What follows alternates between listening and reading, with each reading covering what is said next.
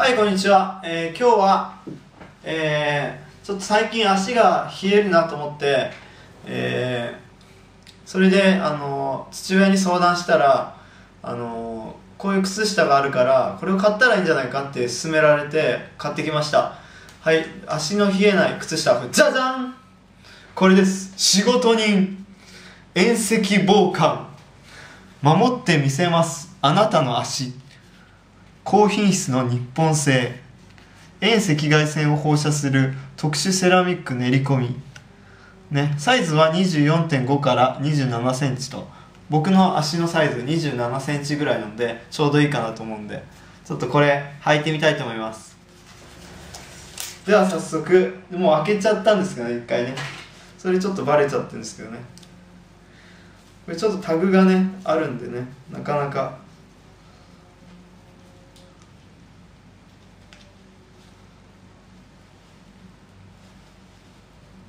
っとこれ開け開けてあ取れました。よし。で OK 取れました。でじゃあちょっと履いてみたいと思います。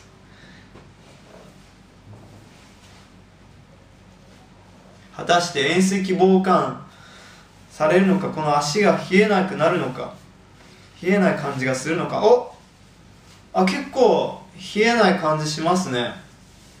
なんか全然冷えないですよ。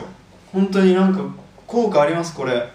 すごく履いてて足が冷えた感じがそんなしないですね。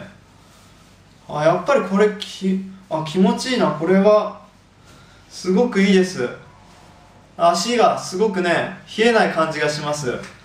ちょっと足見えにくいと思うんですけどちょっと足の足の足を見てください。足の足。足の足こんな風にしっかり長さもこれちょうどよくてこれ伸びるタイプ。短めのもあったんですけどもこれやっぱり長いのを選んでうちの父親がこれがいいんじゃないかって言ってくれたんでちょっと買ってきました。